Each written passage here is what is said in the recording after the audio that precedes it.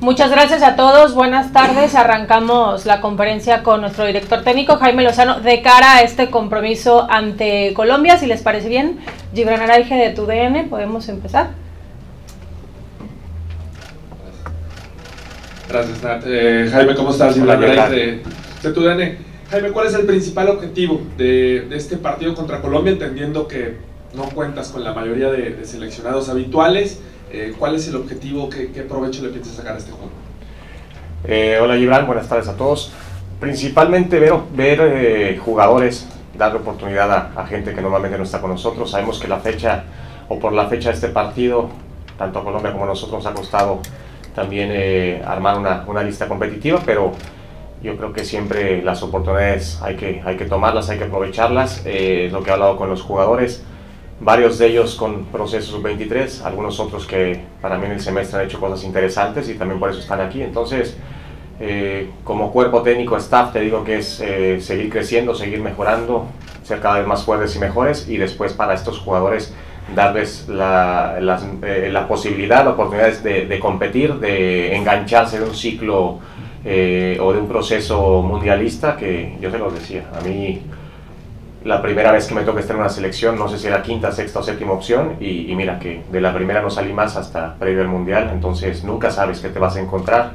Eh, el día a día cuenta muchísimo, Gibran, porque muchas veces te puede gustar más o menos un jugador, pero en el día a día vas viendo cosas que, que nada más con ver un sábado un domingo en, la cancha no, no te percatas. Entonces, un poco de lo, de lo que estamos buscando para esta, para esta convocatoria, aparte es un gran rival, ¿no? un rival de Conmebol, un rival importante, un rival que que viene haciendo las cosas bastante bien. Entonces, creo que es un, para cerrar el año es, es, es, es una buena, eh, es una buena, eh, un buen partido, un buen escenario y, esperemos dar lo mejor nosotros. Carlos Guerrero de Azteca Deportes. Gracias, gracias. Eh, Jimmy, buenas tardes. por acá. se habla mucho siempre del cambio generacional, cuándo va a llegar, dónde están. Es una buena posibilidad para ti, para los propios jugadores que están acá. Hablo de los puntualmente jóvenes de poderse mostrar y levantar la mano. Y otra, Jimmy, el caso de Memo Martínez. Siempre para un entrenador es fundamental tener muchas más opciones dentro de esa baraja y tuvo un torneo bastante importante. ¿Tú cómo lo has visto a él? ¿Cómo lo ves? Eh, hablando puntualmente de los centros delanteros, después de que durante un buen lapso, recientemente decíamos es que nos faltan nueve, nos faltan nueve, pues también los puedes encontrar por acá en la Liga MX. ¿Cómo ves puntualmente a Memo Martínez? Sí, de Memo bien. Digo, todos vimos que tuvo un extraordinario torneo que se fue enganchando ya desde que estaba el Arcamón, me parece que a veces de inicio, a veces de cambio, pero siempre alguien importante, alguien que con el físico que tiene y las condiciones las sabe aprovechar y sabe, me parece muy bien cuáles son sus fortalezas y saca ventaja de ellas, que en este caso es el, aspecto físico, técnicamente es bueno y sobre todo que es un gran rematador. Eh, como bien dices, tenemos siempre lo he dicho a lo largo de este semestre, he dicho que tenemos tres centros delanteros que pasan un gran momento y ahora, bueno, hay que darle la posibilidad y la oportunidad y siempre tener a alguien, alguien más en la Liga de México como Memo eh, eh, para, para, ver, para ver este, hasta dónde puede llegar, sabiendo que que para mí un buen jugador va a ser un buen jugador siempre, que a lo mejor va a necesitar más tiempo eh, para, para, adaptarse o para el proceso, ¿no? Este, no deja de, serlo, pero es una buena primera oportunidad para, para, él y para muchos de ellos. Y del cambio generacional, pues sí, es importante. Si vemos la lista, casi el 50% son jugadores sub-23, entonces eso es lo que se busca. Eh, eh, me acuerdo en el pasado proceso, a mí me tocó entrar a la par de Gerardo Martino, y Kevin Álvarez era un jugador que estaba por jugar un Mundial Sub-20. No podíamos ni siquiera convocarlo nosotros como Sub-21 o Sub-22 porque la prioridad era para la selección que competía. Y Kevin acabó jugando hasta de titular un partido en, la, en la, siguiente Copa del Mundo. Entonces nunca sabes, nunca sabes. Falta tiempo, eh, los jugadores van a seguir eh, creciendo. Eh, espero que varios de ellos puedan tener más minutos en la liga, pero sobre todo brincar a, una liga mejor y competir de una mejor manera. Rubén Rodríguez de Fox Sports. Hola Jaime. Eh, Hola Rubén. ¿Alguien se ha acercado a ti, te ha dicho, ha calmado un poco el tema de una, o una posible derrota? ¿A qué voy? Es un partido sumamente incómodo que sirve para cumplir compromisos con Zoom y con las televisoras que patrocinan a la selección o que pagan por los derechos de transmisión de la selección. Pero en caso de perder, tú eres el que va a llevar los platos rotos junto con tu cuerpo técnico. Yo no veo ni a Iván, no veo ni a Duilio diciendo, a ver, calma, este partido no sirve para nada. en la interna han hablado contigo, han dicho que no pasa nada, las críticas si llegan, no va a pasar absolutamente nada, porque nosotros vamos a calentar de inmediato un partido que no sirve para nada. Sí, sí hemos hablado, mira, tuvimos alguna reunión después, previo y después a, lo que pasó eh, en la eliminatoria para la Copa América y, bueno, la comunicación fluye y sabemos de la importancia, nosotros le estamos dando mucha importancia, mira, en principio por las fechas eh, la intención era juntarnos dos días previos al partido y lo que se buscó es tirar lo más posible los días, tratar de de, darle o buscar darle toda la seriedad posible a este partido. Tenemos, vamos a tener cuatro días de preparación, que, es poco, pero es mucho más si, si, pensamos lo que, lo que íbamos a tener antes. Entonces, ellos saben, lo sabemos y lo sé, Rubén, que, que al final la selección es esto. ¿no? Cuenta cada partido, no, no hay partidos amistosos ni mucho menos, todos todos importan y lo que más importa muchos, eh, para muchos y para la mayoría de la gente y la prensa en este sentido es el resultado. Nosotros venimos, sí, siempre saldremos con la intención de ganar un partido con nuestras fortalezas, sabiendo que es importante el resultado, pero me parece que para este partido es mucho más importante ver qué jugador podemos engancharlo, con qué jugador podemos seguir contando y, y seguir generando un poco la competencia. Felipe Valenzuela de Univisión. Hola Jaime, buenas tardes, ¿cómo estás? Eh, bueno, al final de cuentas, estos partidos, a ver, muchos les llaman moleros, pero a ti te sirve mucho para ver todos estos jugadores que pueden debutar. Y lo de ayer en zona mixta, los mismos jugadores emocionados, algunos este, orgullosos de portar la camiseta de la selección mexicana, porque no todos los días se les da la oportunidad. Me imagino que también te enfocas en eso, ¿no? Tienes una selección que ya está, literalmente, es la base, pero estos jóvenes necesitan que los veas para que tengan esa oportunidad. Sí, Felipe, justo lo que, lo que hablábamos. Muchas veces con verlos el fin de semana en su equipo en un entorno distinto, pues no te garantiza eh, nada. Entonces, darles la oportunidad, es momento en que pueden estar aquí en la selección, en que pueden, lo que se les pide también es que se adapten lo más rápidamente a todo esto, ¿no? que muchas veces lo vemos de fuera y, y al interno es cambia, cambia muchas cosas, todo se magnifica aquí en la selección nacional, entonces que se adapten, que es jugar fútbol, que sí hay un grado de responsabilidad importante por representar a un país y no, y no a un club, pero pues vienen a hacer lo que más les gusta y lo que mejor saben hacer. Entonces lo que buscamos es eso, hablamos de Memo, eh, aprovechar ese momento que viven en su club, tratar de que lo trasladen eh, de la mejor manera a la selección nacional y que, y que podamos el día de mañana, te digo, primero como conjunto dar un buen partido y después evidentemente la carrera es individual. El, el, equipo, el, el, deporte es de conjunto, pero ya veremos, ya veremos cómo van, quién está, eh, quién está listo para, para engancharse rápidamente y a quién le tenemos que seguir dando seguimiento y evidentemente más oportunidades. Luis Castillo. Hola Jaime, buenas, buenas tardes. Luis. Eh, ¿Cómo cambiar esta percepción que se maneja al exterior? ¿no? Ya lo decía Rubén, el propio Felipe, si es innecesario o no es innecesario. Creo yo que para un técnico siempre un partido vas a sacar provecho ¿no? con esta nueva generación de jugadores. Y la pregunta también sería, ¿cómo, cómo le vas a dar la vuelta? Y la segunda, algunos equipos te negaron algunos jugadores eh, por estar de vacaciones, tuviste problemas, porque siempre en México es todos apoyamos a la selección, muy respectamente. Y a la hora de este tipo de partidos ha pasado, te tocó seguramente como jugador, que tal equipo no prestó este jugador para tal convocatoria. Ya te pasó esta, esta situación de que siempre se dice de dientes para afuera, apoyo restricto al seleccionador y que a la hora que pides jugadores no te lo ceden. ¿Ya te pasó en, esta convocatoria tan peculiar?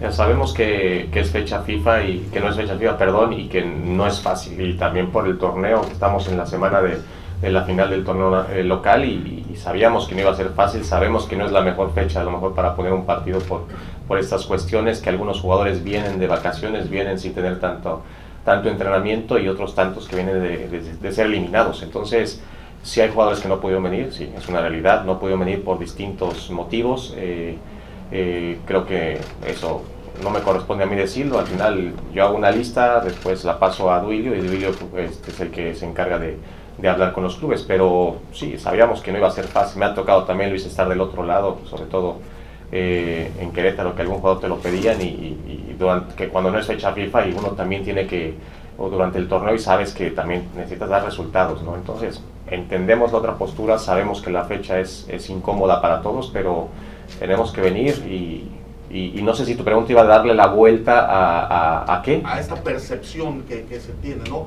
Que es un partido innecesario. Ah, okay, okay. ¿Tú, ¿Tú cómo lo estás focalizando particularmente e internamente? Le, le, estamos dando toda la importancia del mundo. Es, es, a lo que voy, no se hablaba mucho de, de, estos partidos moleros. Para mí, mira, si, si vas con la intención de sacar algo de provecho, creo que valió la pena. Entonces nosotros ya si no le diéramos importancia, hubiéramos quedado, bueno, viajamos, entramos dos días y a ver qué pasa, ¿no? Y, tratamos de ganar los, los, mayores, los más días posibles para entrenar, para, buscar competir de la mejor manera posible, para conocer mucho más al jugador y poner una selección que pueda competir y jugadores sobre todo que, que en verdad tengan una oportunidad eh, valiosa de, de, sacar su máximo rendimiento. Rodolfo Landeros de Fox Deportes. Gracias Jaime, buenas tardes. Quería preguntarte acerca de la portería. Evidentemente, pues, sabemos lo que representa Memo y ya vimos a Luis Ángel en la pasada fecha contra Honduras. ¿Qué es lo que te da Julio? ¿Qué es lo que te da Pepe Toño, que conoces también ya desde hace tiempo, eh, futbolísticamente hablando? Y si cabe la posibilidad de que podamos ver medio tiempo y medio, tiempo tomando el contexto de este partido. Ya, ya lo veremos, eh, evidentemente. Eh, tus carreras no sé si sufridas de los dos, ¿no? O de mucha lucha, de, mucha perseverancia, eh, no sé si parecidas, pero los dos les ha costado mucho trabajo consolidarse en Primera División, ahora que creo que tienen, pasan un buen momento, tienen una recompensa justa el estar aquí los dos, el poder competir, como bien dices, tenemos un portero eh, de talla internacional que se ha mantenido muchísimos años en, un gran nivel. Y después Ángel, que seguramente es el portero que más conozco y con el que más he trabajado, que al momento de, que le tocó estuvo, estuvo bien, estuvo, nos mantuvo, lo, sigo diciendo, nos mantuvo en la eliminatoria en el Azteca porque tuvo dos atajadas muy buenas y, y sé que es alguien muy confiable. Entonces, eh, hoy están ellos dos con la posibilidad, ya veremos cómo se presenta el partido. Sí, ojalá que podamos ver a los dos, pero eso lo determinará mucho el, el encuentro. ¿no? Sabemos que va a ser también el debut en selección mayor de, de, de muchos jugadores y eso también es importante guardarse algunos cambios por cualquier situación que pueda aparecer, pero creo que los dos, Julio tuvo una, una temporada grandiosa, creo que una liguilla muy muy buena también y, bueno, Toño también que viene haciendo las cosas ya desde tiempo bastante bien. Enrique Martínez de Grupo Milenio. ¿Cómo estás, Jaime? Tomando en cuenta que ya tienes una base de, de, jugadores ¿no? que ha venido contigo desde la Copa Oro prácticamente hasta el último partido contra Honduras, ¿Qué, ¿Qué, posiciones te gustaría a lo mejor observar de cerca en este partido con, jugadores que son nuevos y que se pudieran quizás eh, sumar a tu proyecto dentro de, este, de esta selección? Sí, un poco todo, digo, más que posiciones, creo que los jugadores que tenemos es lo que más nos interesa ver, más que una posición en concreto, creo que los jugadores, a ver cómo se comportan, a ver cómo reaccionan ante, ante ante el apoyo de su afición, eh, un estadio grande, un estadio que impone, un rival importante también. A mí me interesa mucho más eso, ver qué tan rápido asimilan y asumen lo que, lo que tienen que hacer dentro del campo, porque luego en la semana la disposición es total. Eh, la verdad que estamos eh, en cada ejercicio, en cada entrenamiento, tú ves que la, la, disposición de cada uno de los jugadores es total y que vienen pues con los ojos así de abiertos para poder brindar eh, el, mejor eh, nivel que puedan, que puedan tener. Mauricio Imay de ESPN. Hola Jaime, buenas tardes. Hablabas de la posibilidad mañana de, de, una buena cantidad de debuts en, en selección mayor. Y yo te preguntaría desde tu posición, desde esa posición del entrenador y con la experiencia de que algún día viviste una oportunidad similar, cómo transmitirle a cada uno de estos futbolistas para que mañana a la hora del partido no les gane la ansiedad, eh, el, nerviosismo, tomando en cuenta que además de acuerdo a lo que nos han eh, transmitido desde Zoom, habrá una, una gran entrada, por lo menos van casi 60 mil boletos vendidos. Pues mira que primero confíen en ellos, porque están aquí es porque lo merecen, porque algunos con mayor o menor edad, pero que han hecho las cosas bien en sus clubes, por eso están aquí, que sepan que, que piensen como una gran oportunidad, pero tampoco que piensen que es la única ni la última, también que va a ser importante que sepan que los vamos a seguir viendo, que yo no soy el tipo de técnico que si no, si no resolviste o no lo hiciste bien a la primera, no vuelvo a contar contigo jamás, entiendo también eso, eh, y darle seguridad y confianza y que hagan las cosas claritas. ¿no? Pero me parece que en la cancha, mientras más fácil lo hagas, mejor sale todo. Entonces, que, el resultado no depende de un solo jugador, depende de, muchas pequeñas acciones y decisiones que tomen en, conjunto, también para no responsabilizar de más a uno y después que salgan a divertirse. Les decía, disfruten la concentración porque qué, mal sería que hasta que salgamos de la concentración empecemos a disfrutar todo lo que es, es un seleccionado nacional. Entonces, eh, creo que están bien, los veo tranquilos, los veo emocionados, sin duda alguna, y viene bien que podamos entrenar que habíamos podido entrenar ayer y que podamos entrenar hoy en el estadio, aunque evidentemente con afición todo esto cambia. Telemundo 52, Saúl, por favor. Hola Jaime, Saúl Rodríguez de Telemundo. ¿Cuánto peso tiene Jaime el técnico para decidir en cuanto a rivales, fechas y sedes para partidos de selección nacional? En cuanto a rivales, nos eh, organizamos. había unos que estaban, porque tienes con mucha antelación, tienes que ir de acordando con otras federaciones qué, contra qué, rival, este, o, apartas la fecha o apartas al rival, porque si no te los ganan, y más nosotros que no tenemos, en este caso eliminatorio, tenemos que ir con mucho tiempo. Pero sí nos hemos sentado varias veces a buscar eh, las mejores opciones para, para tratar de, enfrentarlos. En cuanto a sedes, bueno, poco, ya creo que está estipulado mucho tiempo antes de que yo llegara. Entonces, eso sabemos que eh, California y en este caso Los Ángeles, sabemos que es una sede importante para, para, toda la afición de México, para la selección, que es prácticamente un lugar donde normalmente hay buena entrada y buena, eh, buena comunión. Eh, y la otra era las fechas, bueno, eh, ahí vamos tratando también. Sí, sí, nos hemos organizado, hemos tratado también con mucho tiempo antes se tiene que, hay muchos compromisos comerciales, y, pero tratamos, tratamos de, de, ponernos de acuerdo y que no solamente es algo económico, sino también lo deportivo, lo que, lo que pueda eh, eh, verse beneficiado en cuanto a este tipo de, encuentros. Y últimas dos preguntas por allá y cerramos con Rafa Ramos, por favor. Hola Jaime, aquí Humberto Barrera de Hola Humberto. Hace unos eh, días Carlos Vela dijo que ni con Mourinho se podía llegar tan lejos con la selección. Vienen juegos importantes, la Copa América, Copa Oro, los proyectos deben seguir. ¿Compartes la idea de Carlos Vela y si has platicado con él? No, no he hablado con él, digo, la respeto, evidentemente no la comparto y no, no estaría aquí. Imagínate yo pensara, voy, ¿a qué voy si no se puede hacer nada? Cada uno piensa la cosa, o las cosas, o, toma decisiones, o, o, da puntos de vista en base a sus experiencias. es un gran jugador mexicano, pasa un gran momento aquí en MLS y, y bueno, eh, de lo más talentoso que ha habido eh, o que ha tenido México en los últimos años. Yo a lo mejor no soy tan realista, como podrían pensar algunos, nunca lo he sido y no lo quiero ser. Yo quiero pensar que podemos lograr cosas importantes a base de trabajo y, de convencimiento. Jaime, eh, buenas tardes. Eh, podemos decir que con Colombia eh, cierra Jaime Lozano el año de transición, el año de aprendizaje, el año de conocimiento, el año de experiencia. En el 2024 con la Copa América, con la Nations League, eh, debe ser el año de consolidación, es el año de graduación para Jaime Lozano o también implica otro riesgo en caso de que no se cumplan plenamente los objetivos. Bueno, sí, creo que seis meses eh, fueron de mucho aprendizaje, aunque había estado en selecciones nacionales, pero siempre, ¿no? Toda la Copa Oro fue de mucho aprendizaje, no solamente cuando se pierde se aprende, creo que también ganando puedes aprender muchas cosas, eh, siempre hay cosas que resolver, es evidente, como en cualquier trabajo, siempre hay cosas a que adaptarte, y después me, parece que sí, eh, el 2024 por los torneos que se vienen, por lo que se ha hecho previamente, siempre va a haber la exigencia de sacar esos buenos resultados que, que todos queremos. Eh, consolidación puede ser, pero para mí te consolidas a cada partido.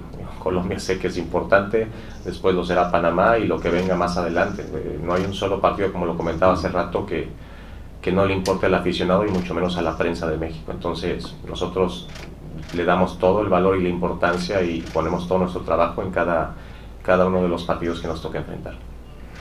Muchísimas gracias. Ah, gracias.